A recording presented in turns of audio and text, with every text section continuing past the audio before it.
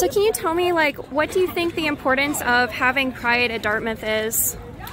I think every student should feel incredibly welcome here and, and, proud of their background and identity and be able to find community on campus. And so um, Dartmouth always gets better because of our students and, and what they bring with each generation. And so I'm really delighted to see that the Pride Parade actually got started this year, 2023.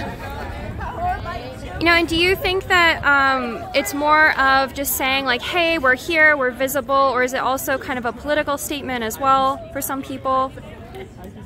I mean, I think you heard the student voices that it's important for folks to feel like they have a place to belong here. It's about community, it's about connection.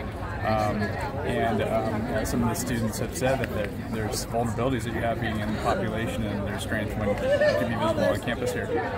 Have they approached you and told you more specifically like what Dartmouth should do so that they can feel safe, that they can feel included? Because that was mentioned a couple of times, feeling isolated or maybe not feeling safe at times.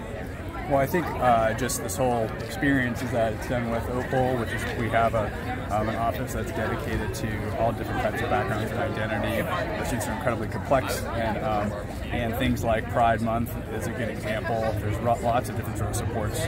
Our students are not defined by any one thing, and so it's thinking about how does gender and sexual sexual orientation um, kind of go into sort of who our students are. We're meeting those specific needs, but also all the other needs that are related as well, because students are, are very complex. Do you think that Dartmouth needs to do more to help queer students feel comfortable and feel safe at Dartmouth?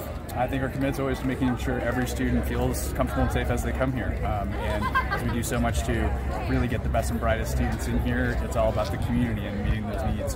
And, and the best way to meet them is to working closely with students, which is why things have evolved over many years and why Dartmouth is as best as it's been.